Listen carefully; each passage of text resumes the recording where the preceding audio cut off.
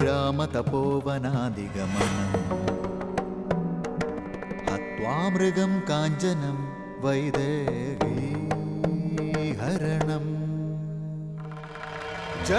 जडायुमरणं सुग्रीवसम्भाषणं बालीनिग्रहणं समुद्रतरणं लङ्गापुरीदहनं पश्चाद्रा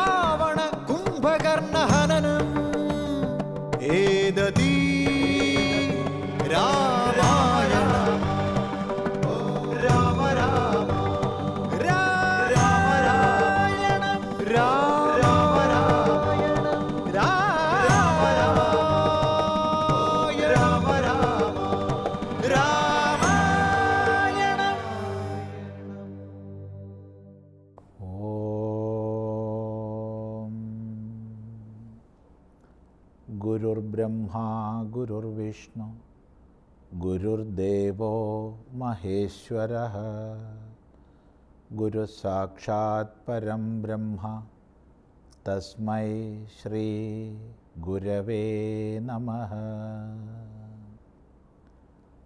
ॐ सदाशिवसमारम्भां शङ्कराचार्यमध्यमाम् അസ്മദാചാര്യപര്യന്താം. വന്ദേ ഗുരുപരമ്പരാം. ഓ. വാൽമീകി രാമായണത്തിൽ അയോധ്യാകാന്ഡത്തിൽ ഒമ്പതാമത്തെ സർഗമാണ് നമ്മൾ ശ്രദ്ധിക്കുന്നത്. അവിടെ രാമൻ യുവരാജാവായി അഭിഷേകം ചെയ്യപ്പെടുന്നു എന്ന് കേട്ട് വളരെയധികം സന്തോഷിച്ച കൈകേയിയെ സമർത്ഥമായ വാക്കുകളെ പ്രയോഗിച്ചുകൊണ്ട് അതും മൂന്ന് വ്യത്യസ്ത ഘട്ടങ്ങളിലായി മന്ധര ഉപദേശിച്ച് ഉപദേശിച്ച് ദോഷമായ മനസ്സോട് കൂടിയവളാക്കി തീർത്തു. വാക്പ്രയോഗത്തിന്റെ മർമ്മം നമ്മൾ ഈ ഭാഗത്ത് മന്ധര പറയുന്ന വാക്കുകളെ ശ്രദ്ധിച്ചാൽ മനസ്സിലാക്കാൻ സാധിക്കും നമുക്ക്. അങ്ങനെയുള്ള വാക്യജാലങ്ങളെ കൊണ്ട് രാമനെയും ഭരതനെയും ഒരുപോലെ കണ്ടിരുന്ന രാമൻ യുവരാജാവാകുന്നതിൽ ഉള്ളുകൊണ്ട് ആനന്ദിച്ചിരുന്ന കൈകേയിയെ മാറ്റി ഭരതനെ രാജാവാക്കണം രാമനെ കാട്ടിലേക്ക് അയക്കണം എന്നുള്ളൊരു ബുദ്ധി കൈകേയിൽ ജനിപ്പിച്ചു മന്ധര. ദുസ്സംഗത്തിന്റെ പ്രഭാവം ഇതിൽ പരം സ്പഷ്ടമാകുന്ന ഭാഗങ്ങൾ സാഹിത്യത്തിൽ വിരളമാണ്. തന്റെ നിശ്ചയം കൈകേയി അറിയിച്ചു. രാമനെ കാട്ടിലേക്ക് അയക്കണം ഭരതനെ രാജാവാക്കണം. എന്താണ് അതിന് ഉപായം? പറഞ്ഞു തരൂ എന്ന് മന്ധരയോട് തന്നെ അപേക്ഷിച്ചു. ആ സമയത്ത് അതിനുള്ള ഉപായം എന്റെ പക്കലുണ്ടെന്ന് പറഞ്ഞുകൊണ്ട് കൈകേയി ആകർഷിച്ചു മന്ധര. അല്ലയോ കൈകേയി നിനക്ക് തന്നെ അറിയാമല്ലോ. അല്ല നീ മറന്നുപോയോ? എന്നിലൂടെ വീണ്ടും കേൾക്കാനാണോ നീ ആഗ്രഹിക്കുന്നത് എന്നിങ്ങനെ ചോദിച്ചുകൊണ്ട് കൈകേയിയുടെ ജിജ്ഞാസയെ ഉണർത്തുകയാണ് മന്ധര ചെയ്യുന്നത്. അങ്ങനെ ജിജ്ഞാസ ഉണർന്ന കൈകേയി നോക്കൂ ശ്രുത്വേദം വചനം തസ്യ മന്ധരായാസ്തു കൈകൈ കിഞ്ചിതുത്ഥായ ശയനാത് സ്വസ്തീർനാഥ് ഇതമബ്രവീത്. മന്ധരയുടെ ആ മന്ധരയുടെ വാക്കുകളെ കേട്ട് കൈകേയി. താൻ കിടന്നിരുന്ന ആ ശയനത്തിൽ നിന്നോ കിടക്കയിൽ നിന്ന് ഒരല്പം പൊങ്ങി. അപ്പോൾ പരിപൂർണമായി എഴുന്നേറ്റ് ഇരുന്നില്ല കിടക്കുന്ന അവസ്ഥയിൽ നിന്നൊന്ന് പൊങ്ങി. സ്വാഭാവികമായിട്ടും കയ്യിന്റെ മുട്ടുകുത്തി തലയിൽ കൈ വെച്ചുകൊണ്ട് ഒന്ന് ഉയർന്നു കിടന്നതാവണം. എന്നിട്ട് ചോദിക്കുകയാണ് കഥയത്വം മമോപായം കേനോപായേന മന്ധരേ ഭരത പ്രാപ്നുയാദ് രാജ്യം നതു രാമ കഥഞ്ചന അല്ലയോ മന്ധരെ? എന്നോട് പറഞ്ഞു തരൂ.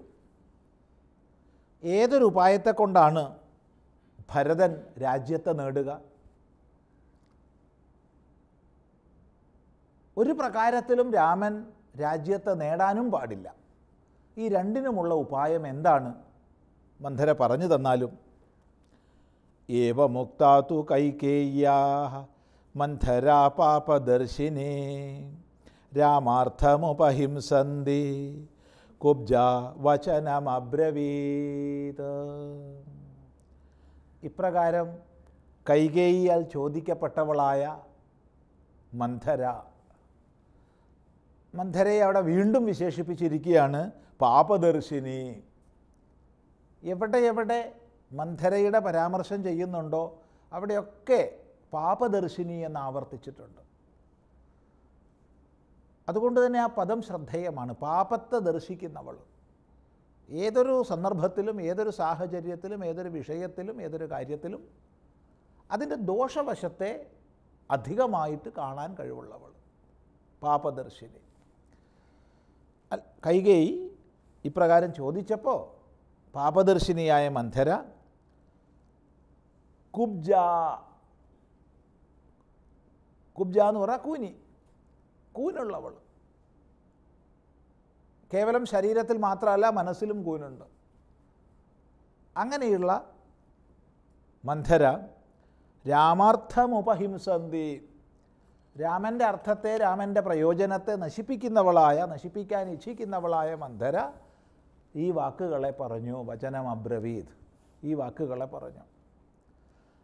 തവ ദൈവാസുരേ യുദ്ധേ സഹ രാജർഷിഭിപ്പതി അഗച്ഛത്വാമുപാദായ ദേവരാജസ്യ സാഹ്യകൃത്.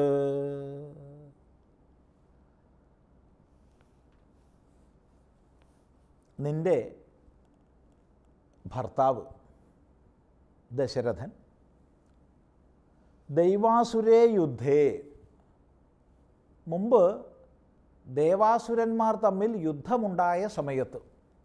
ദൈവാസുരേ യുദ്ധേ ദൈവാസുര യുദ്ധത്തിൽ രാജർഷിഭിഹി സഹ. മറ്റ് രാജർഷിമാരോടുകൂടെ കേവലം ദശരഥൻ മാത്രമല്ല മറ്റ് രാജർഷിമാരോടുകൂടെ ദേവരാജസ്യ സാഹ്യകൃത് ത്വാം ഉപാദായ അഗച്ഛത്. ദേവരാജാവായ ഇന്ദ്രനെ സഹായിക്കാൻ വേണ്ടി നിന്നെയും കൂട്ടി യുദ്ധത്തിന് പോയി. ഒരു പുരാവൃത്തം കൈകൈയെ ഓർമ്മിപ്പിക്കുകയാണ് മന്ധര. അപ്പോൾ മുമ്പൊരിക്കൽ ദേവാസുര യുദ്ധമുണ്ടായ സമയത്ത് ദേവേന്ദ്രനെ സഹായിക്കാൻ വേണ്ടി മറ്റ് രാജർഷിമാരുടെ കൂടെ ദശരഥനും യാത്രയായി. അന്ന് നിന്നെ കൊണ്ടുപോയത് നിനക്ക് ഓർമ്മയില്ലേ?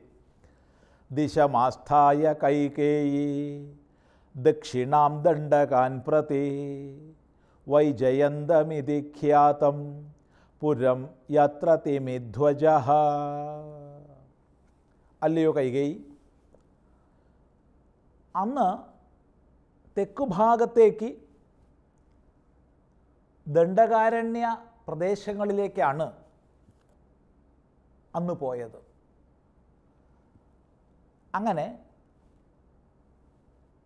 വൈജയന്തം എന്ന് പേരുള്ള പട്ടണത്തിൽ നിങ്ങൾ എത്തിപ്പെട്ടു. ആ വൈജയന്ത പട്ടണത്തിലാണ് തിമിധ്വജൻ എന്ന അസുരൻ താമസിച്ചിരുന്നത്. തിമിധ്വജൻ. സശംബര ഇതി ഖ്യാത് ശതമായോ മഹാസുര. ദദൗ ശക്രസ്യ സംഗ്രാമം ദേവസംഘൈരനിർജിത. ഈ തിമിധ്വജൻ ശമ്പരൻ എന്നുകൂടി പ്രസിദ്ധനായിരുന്നു. അപ്പോൾ തിമിധ്വജൻ എന്ന അസുരന്റെ മറ്റൊരു പേര് ശമ്പരൻ നൂറുകണക്കിന് മായാപ്രയോഗങ്ങളെ ചെയ്യാൻ കഴിവുള്ളവനായ ശമ്പരൻ ദേവഗണങ്ങളാൽ പരാജയപ്പെടുത്തപ്പെട്ടില്ല. പറഞ്ഞതിന് താല്പര്യം ദേവേന്ദ്രന്റെ നേതൃത്വത്തിൽ ദേവന്മാർ യുദ്ധം ചെയ്തിട്ടും നൂറുകണക്കിന് മായാപ്രയോഗങ്ങളെ ചെയ്യാൻ കഴിയുന്നവനായ തിമിധ്വജനെ അഥവാ ശമ്പരനെ തോൽപ്പിക്കാൻ ദേവന്മാർക്ക് കഴിഞ്ഞില്ല. സ മഹാസുര ശക്രസ്യ സംഗ്രാമം ദദൗ എന്ന് മാത്രമല്ല ആ ശമ്പരൻ ദേവേന്ദ്രനോട് നേരിട്ട് യുദ്ധം ചെയ്തു. ഒരു ദേവൻ ആർക്കും ദേവന്മാർക്ക് ആർക്കും അയാളെ പരാജയപ്പെടുത്താൻ കഴിഞ്ഞില്ലെന്ന് മാത്രമല്ല ആ തിമിധ്വജൻ ദേവേന്ദ്രനോട് നേരിട്ട് യുദ്ധം ചെയ്തു. തസ്മിൻ മഹതി സംഗ്രാമേ പുരുഷാൻ ക്ഷതവിക്ഷതാൻ രാത്രൗ പ്രസുപ്താൻ ഘ്നന്തി സ്മ തരസാ പാസ്യ രാക്ഷസാ രാക്ഷസാഹ രാക്ഷസന്മാർ തിമിധ്വജന്റെ നേതൃത്വത്തിൽ അസുര സ്വഭാവികളായ രാക്ഷസന്മാർ തസ്മിൻ മഹതി സംഗ്രാമേ ആ മഹായുദ്ധത്തിൽ ആ വലിയ യുദ്ധത്തിൽ രാത്രൗ രാത്രികാലത്തിൽ തരസ ക്ഷതവിക്ഷതാൻ പ്രസുപ്താൻ പുരുഷാൻ ഗ്രന്ഥി. ഗ്രന്ഥി സ്മ. പല പ്രകാരം മുറിവേറ്റ് കിടന്നവരായ മനുഷ്യന്മാരെ മുഴുവൻ തന്നെ രാത്രി സമയത്ത് ഇവർ കൊല്ലാൻ തുടങ്ങി. അപ്പോൾ പകൽ യുദ്ധത്തിൽ മുറിവേറ്റ് കിടന്നവരെയൊക്കെ രാത്രിയാവുമ്പോൾ ഈ അസുരന്മാർ കൊല്ലാൻ തുടങ്ങി. തത്രാകരോന്മഹദ്യുദ്ധം രാജാ ദശരഥസ്തദാ അസുരൈശ്ച മഹാബാഹു ശസ്ത്രൈശ്ച ശകലീകൃത. ആ സമയത്ത് രാജാവ് ദശരഥൻ മഹാബാഹുവായ ദശരഥൻ ആ അസുരന്മാരോടുകൂടെ വലിയ യുദ്ധം ചെയ്തു. ആ യുദ്ധത്തിൽ അസുരന്മാരെല്ലാവരും തന്നെ ദശരഥനാൽ തീർത്തും മുറിവേൽപ്പിക്കപ്പെട്ടവരായി മാറി. അപവാഹ്യ ത്വയാ ദേവി സംഗ്രാമാൻ നഷ്ടചേതന തത്രാപി വിക്ഷതശസ്ത്രൈ പതിസ്തേ രക്ഷിതസ്ത്വയാ വളരെയധികം ശക്തമായി തന്നെ മഹാബാഹുവായ ദശരഥൻ യുദ്ധം ചെയ്തെങ്കിലും ധാരാളം അസുരന്മാർ ദശരഥനാൽ മുറിവേൽപ്പിക്കപ്പെട്ടെങ്കിലും ആ അസുരന്മാരാൽ ദശരഥനും നല്ലപോലെ മുറിവേറ്റു. ശകലീകൃത. വളരെ മുറിവേറ്റു ആ ദശരഥന്. അങ്ങനെ ബോധം കെട്ടുപോയി ദശരഥന്റെ സംഗ്രാമാത് നഷ്ടചേതന ആ യുദ്ധത്തിൽ ദശരഥൻ ബോധം കെട്ട് കടന്നു. അങ്ങനെയുള്ള ദശരഥൻ ത്വയാ ദേവി അപവാഹ്യ. ദേവി നീയാണ് ബോധം കെട്ട് കിടന്ന ദശരഥനെ യുദ്ധക്കളത്തിൽ നിന്ന് എടുത്ത് കൊണ്ടുപോയത്. ശസ്ത്രൈഹി വിക്ഷത പതി രക്ഷിത ത്വയ. പല പ്രകാരത്തിൽ ശസ്ത്രങ്ങളാൽ മുറിവേറ്റ നിന്റെ ഭർത്താവ് നിന്നാലാണ് രക്ഷിക്കപ്പെട്ടത്. തീർത്തും ബോധരഹിതനായി കിടന്ന ദശരഥനെ നീയാണ് രക്ഷിച്ചത്.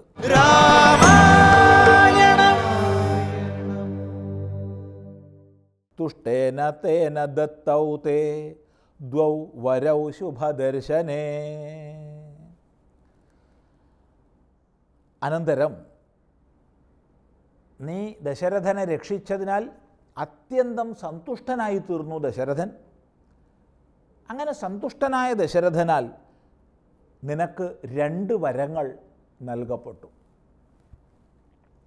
സത്വയോക്ത പതിർദേവി യഥേച്ഛേയം തദാ വരൗ ഗൃഹ്ണീയാമിതി തത്തേന തഥേത്യുക്തം മഹാത്മനാ. അങ്ങനെ രണ്ട് വരങ്ങൾ തരാൻ ദശരഥൻ തയ്യാറായ സമയത്ത് നിന്നാൽ ദശരഥൻ പറയപ്പെട്ടു ഞാൻ ആഗ്രഹിക്കുന്ന സമയത്ത് യഥാ ഗൃഹിണീയാം തഥാ വരൗ ഇച്ഛേയം. എപ്പോഴാണോ ഞാൻ ഈ രണ്ട് വരങ്ങളെ സ്വീകരിക്കാൻ സങ്കല്പിക്കുന്നത് അപ്പോൾ ഞാൻ ചോദിച്ചു കൊള്ളാം. ഇപ്പോൾ തരേണ്ടതില്ല. എന്ന് നിന്നാൽ അന്ന് പറയപ്പെട്ടു. രാജാവാകട്ടെ തഥാ ഇതി തേന മഹാത്മനാച ഉക്ത. ആ മഹാത്മാവിനാലും അങ്ങനെ തന്നെ ആവട്ടെ എന്ന് പറഞ്ഞു. അങ്ങനെ സ്വച്ഛന്തമായി സ്വീകരിക്കാനായി രണ്ട് വരങ്ങൾ ദശരഥന്റെ അടുത്ത് കിടക്കുന്നുണ്ട്. അവ രണ്ടും ചോദിക്കാൻ നിനക്ക് അർഹതയുണ്ട് എന്നർത്ഥം. അനഭിജ്ഞാഹ്യഹം ദേവി ത്വയൈവ കഥിതാ പുരാ കഥൈഷാ തവ ച സ്നേഹാത് മനസാ ധാര്യത്തെ മയാ. അല്ലയോ ദേവി ഈ സംഭവമൊന്നും എനിക്കറിയില്ലായിരുന്നു.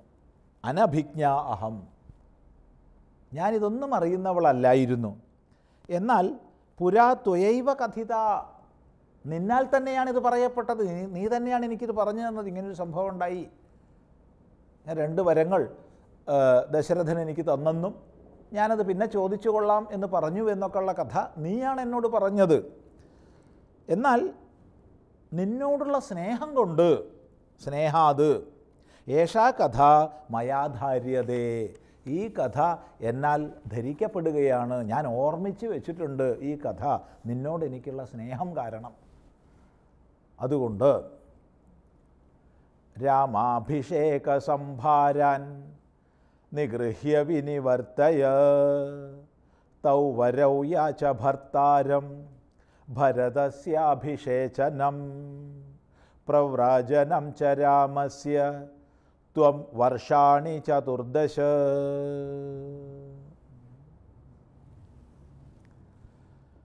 അതുകൊണ്ട് ത്വം രാമസ്യ ചതുർദശ വർഷാണി പ്രവ്രാജനം. ഭരതസ്യ അഭിഷേചനം ച. തൗ വരൗ യാച. നീ ആ രണ്ട് വരങ്ങളെയും ചോദിച്ചുകൊള്ളൂ. തൗ വരൗ. ആ രണ്ട് വരങ്ങളെയും യാച. നീ യാചിക്കൂ നീ ചോദിക്കൂ. എന്തായിരിക്കണം? ഭരതസ്യ അഭിഷേചനം. ഭരതനെ രാജാവായി അഭിഷേകം ചെയ്യുക എന്നുള്ളതായിരിക്കണം ഒരു വരം. അതിനു മുമ്പായിട്ട് രാമസ്യ ചതുർദശ വർഷാണി പ്രവ്രാജനം പതിനാല് വർഷക്കാലത്തേക്ക് രാമന്റെ പ്രവ്രാജനം പ്രവ്രാജനം എന്ന് പറഞ്ഞാൽ കാട്ടിലേക്ക് പറഞ്ഞയക്കുക പുറത്താക്കുക രാജ്യത്തിൽ നിന്ന് പുറത്താക്കുക. അപ്പം രാജ്യത്തിൽ നിന്ന് രാമനെ പതിനാല് വർഷത്തേക്ക് പുറത്താക്കണം ഭരതനെ രാജാവാക്കുകയും വേണം. ഈ രണ്ട് വരങ്ങളെ ഭർത്താരം യാച്ച നീ ഭർത്താവിനോട് ചോദിച്ചുകൊള്ളൂ. നിഗൃഹ്യ രാമാഭിഷേക സംഭാരാൻ വിനിവർത്തയ. നിഗൃഹ്യ. നിഗൃഹ്യ എന്ന് പറഞ്ഞാൽ നിശേഷേണ പൂർണമായി ഗ്രഹിച്ചിട്ട് നല്ലപോലെ ഗ്രഹിച്ചിട്ട് എന്നാണ് അർത്ഥം. അതായത് ദശരഥനെ വേണ്ടതുപോലെ പിടിച്ചിട്ട്. എങ്ങനെ ചെയ്താലാണോ ദശരഥനെ സ്വാധീനിക്കാൻ കഴിയുക അങ്ങനെ ചെയ്തിട്ട്. രാമന് വേണ്ടി തയ്യാറാക്കിയ അഭിഷേക സംഭാരങ്ങളെ നിർത്തിയാലും മുടക്കിയാലും രാമന്റെ അഭിഷേകത്തിന് വേണ്ടി എന്തെല്ലാം സംഭാരങ്ങൾ ഒരുക്കുന്നുണ്ടോ അതെല്ലാം നീവിനി വർത്തയ മുടക്കിയാലും നിർത്തൽ ചെയ്യൂ. ഇതാണ് ചെയ്യാനുള്ള കർത്തവ്യം. അവിടെ ഒരു സംശയം വരും. ഭരതനെ രാജാവാക്കണം രാമനെ കാട്ടിലയക്കണം എന്നല്ല പറഞ്ഞത്. പതിനാല് വർഷത്തേക്ക് കാട്ടിലയക്കണമെന്നാണ്. എന്തുകൊണ്ടാണ് പതിനാല് വർഷത്തേക്ക് കാട്ടിലയക്കണം എന്ന് പറയുന്നത്? പറയുകയാണ് ചതുർദശ ഹി വർഷാണി രാമേ പ്രൗരാജിദേവനം പ്രജാഭാവഗത സ്നേഹ സ്ഥിരപുത്രോ ഭവിഷ്യതി. രാമൻ പതിനാല് കൊല്ലം കാട്ടിലേക്ക് പോയി കഴിഞ്ഞാൽ തീർച്ചയായിട്ടും പ്രജാഭാവഗത സ്നേഹ. പ്രജകളുടെ ഉള്ളിന്റെ ഉള്ളിൽ നിന്നുള്ള സ്നേഹത്തിന് പാത്രമായി നിന്റെ പുത്രൻ സ്ഥിരമായി രാജാവായിക്കൊള്ളും. ഇവിടെ ധർമ്മശാസ്ത്രങ്ങൾക്കനുസരിച്ച് ഒരാൾക്ക് ന്യായമായും അധികാരപ്പെട്ട സ്വത്ത് തിരിച്ചു ചോദിക്കാൻ പന്ത്രണ്ട് വർഷക്കാലമാണ് ആചാര്യന്മാർ പറയുന്ന കാലയളവ്. പന്ത്രണ്ട് വർഷക്കാലം. എന്നാൽ അതിലൊരു പത്ത് ശതമാനം കൂടി ഇളവ് കൊടുക്കുകയാണെങ്കിൽ പതിമൂന്നേകാൽ വർഷമാകും. ഇത്രയും കാലം ഒരാൾ തനിക്ക് അധികാരപ്പെട്ട സ്വത്ത് ചോദിച്ചിട്ടില്ലെങ്കിൽ പിന്നെ അയാൾക്ക് യാതൊരു അധികാരവുമില്ല. അതുകൊണ്ടാണ് പതിമൂന്നിലധികം വർഷം രാമൻ വിട്ടു നിൽക്കണം കാട്ടിൽ പോകണമെന്ന് മന്ധര പറയുന്നത്. ഈ കാലയളവ് കൊണ്ട് ഭരതനിൽ മനസ്സുറക്കുകയും ചെയ്യും പ്രജകൾക്ക്. അതുകൊണ്ട് പതിനാല് വർഷക്കാലം രാമൻ കാട്ടിൽ പോകണം. ഭരതൻ സ്ഥിരമായി രാജാവായിക്കൊള്ളും ഇതിനെന്താണ് ഉപായം? ക്രോധാകാരം പ്രവിശ്യാദ്യ. ക്രുദ്ധേവാശ്വപതേ സുതേ. ശേഷ്വാനന്തർഹിതായാം ത്വം. ഭൂമൗ മലിനവാസിനേ. മാസ്മൈനം പ്രത്യുദേക്ഷേഥ. മാ ചൈനമഭിഭാഷഥാ. രുദന്തി ചാപി തം ദൃഷ്ട്വാ. ജഗത്യാം ശോകലാലസ. അതുകൊണ്ട് അല്ലയോ അശ്വപതിയുടെ മകളെ.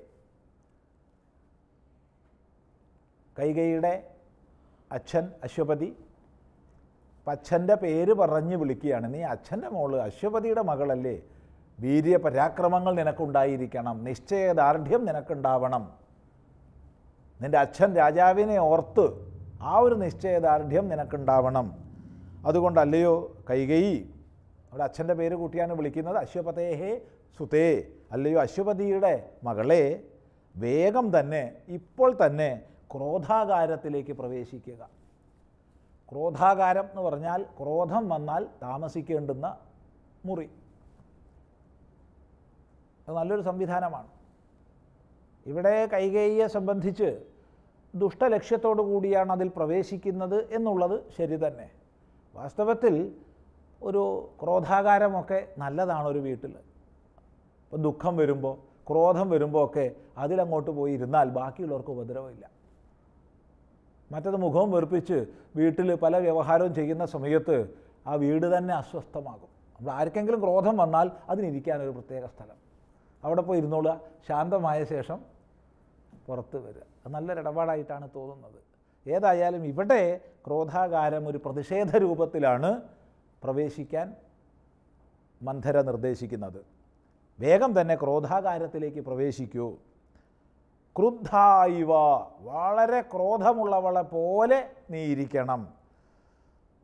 എന്നിട്ട് മലിനവാസിനി അനന്തർഹിതായാം ഭൂമൗ മുഷിഞ്ഞ വസ്ത്രം ധരിച്ച് നിന്റെ വസ്ത്രമെല്ലാം മലിനമാക്കി തീർക്കണം. അങ്ങനെ മലിന വസ്ത്രം ധരിച്ച് അനന്തർഹിതായാം ഭൂമൗ. അന്തർഹിതമല്ലാത്ത ഭൂമിയിൽ അതായത് ഒരു വിരിപ്പ് വിരിക്കാതെ പായയോ വിരിപ്പോ കിടക്കയോ ഒന്നും ഉപയോഗിക്കാതെ വെറും നിലത്ത് ശേഷ്വ നീ കിടക്കൂ പോയിട്ട് ഇത് വേഗം ചെയ്യൂ. അങ്ങനെ കിടക്കുന്ന നീ മാസ്മൈനം പ്രത്യുദീക്ഷേതാഹ അവനെ നോക്കരുത്. അവനെ നോക്കരുതെന്ന് പറഞ്ഞാൽ അർത്ഥം മന്ധര വ്യക്തമായി പറയുന്നില്ല. നമ്മൾ മനസ്സിലാക്കിക്കൊള്ളണം. പ്രത്യേകിച്ചും അവിടെ ഏനം എന്നുള്ള പ്രയോഗം കൊണ്ട് മുൻപ് പറഞ്ഞ ആളെ മുൻപ് പറഞ്ഞത് ദശരഥനെയാണ്. അതുകൊണ്ട് ദശരഥനെ മുഖത്തേക്ക് നോക്കരുത് നീ മാ ചൈനം അഭിഭാഷതാഹ ദശരഥനോട് ഒരക്ഷരം പറയാൻ പാടില്ല സംസാരിക്കാൻ പാടില്ല. അവന്റെ മുഖത്തേക്ക് നോക്കരുത് അവനോട് സംസാരിക്കരുത്. പിന്നെ എന്ത് ചെയ്യണം? രുദന്തി ചാപി തം ദൃഷ്ടു. അവനെ കണ്ടാൽ അപ്പ കരഞ്ഞോളണം. തം ദൃഷ്ടുവാ രുദന്തി. ഒക്കെയാണ് കപട്ടത അഭിനയിക്കാൻ വേണ്ടിയിട്ടാണ് പറയണത്. സ്വതവേ കരയുകയാണെങ്കിൽ വിരോധമില്ല. അവിടെ കരഞ്ഞ് കിടക്കാം. പക്ഷേ തം ദൃഷ്ടുവാ രുദന്തി എന്നാണ് പറയുന്നത് അവനെ കണ്ടു കഴിഞ്ഞാൽ ഉടനെ കരഞ്ഞോളണം. അങ്ങനെ കരഞ്ഞ് ശോകലാലസ. അങ്ങേയറ്റം ശോകലാലസയായി. അങ്ങേയറ്റം ശോകത്താൽ ബാധിക്കപ്പെട്ടവളായി സ്വയം അഭിനയിച്ചുകൊണ്ട് നീ ക്രോധഭവനത്തിൽ കിടക്കണം. ഇത് നീ ഉടനെ ചെയ്യണം. ദയിതാത്വം സദാ ഭർത്തു. അത്ര മേ നാസ്തി സംശയ. ത്വത്കൃതേ സമഹാരാജോ മഹാരാജോ. വിഷേദപി നിന്റെ ഭർത്താവ്